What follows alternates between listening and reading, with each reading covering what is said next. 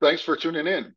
Today we're going to show you how to use Tenable Identity Exposure to remediate accounts with possible empty password. In today's session, we will show you three key methods that you can use for the remediation. First, we'll show you the Active Directory GUI, and then we'll show you how to use the PowerShell from command line. And then lastly, we'll show you how to use the export feature coupled by a basic PowerShell script to do mass remediation of this uh, misconfiguration in your Active Directory environment. So let's just jump to the platform. So here what we're talking about is account with possible empty password. And if we look at the vulnerability details, we can see that the password not required attribute is set on the user account control. So now let's go look at some of the deviant objects that are impacted by this vulnerability. So we can see here we have King Cardona. So the first one we're going to remediate is King Cardona. And if we go over and look at the recommendations tab, it's going to tell us we can do this by setting the user account control through the GUI, or we could use PowerShell as well. So let's start with the GUI. So let's open up Active Directory users and computers. And now we find King Cardona. And now we're going to the attribute editor and we're going to go to the user account control attribute inside of here. And if we look at it, it is set to 544, which is password not required. A normal user should be 512. So let's go ahead and set this to 512. And now you can see that we've removed that from. Now let's go back in and look at how we would do this, uh, see in Tenable identity exposure. So as you can see, King Cardona has been remediated from that vulnerability perspective.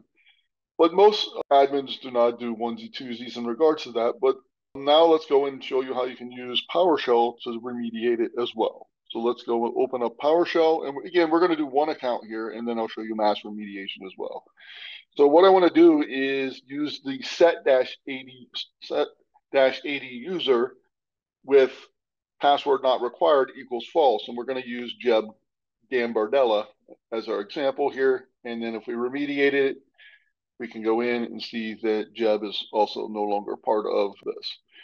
The last thing that we want to do is really do that from a onesie twosie fashion. We want to remediate them all because no one should have that value set. So let's go in and do this through the export feature using Tenable Identity Exposure.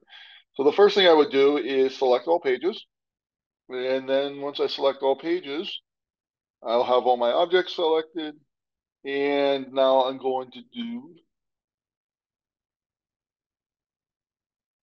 export all feature. And then we're going to go out and export this to a CSV. We export it to a CSV.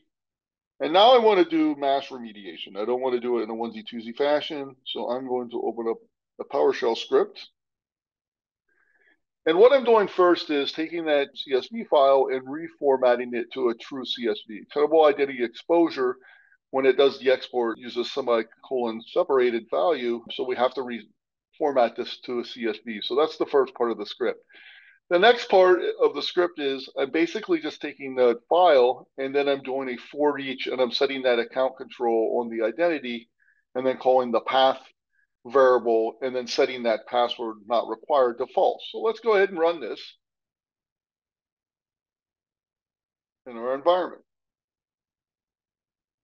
And as you can see, we have a couple errors errors here, and that's okay because now we know that these users do not meet the password length requirement or complexity in our environment. So we would have to go in and manually fix these users by resetting their password in their environment. Most likely, these users do truly have a blank password in your organization.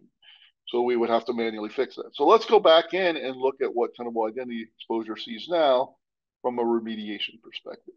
And you can see that these three accounts were not remediated because we did not meet those password requirements. Thanks for watching.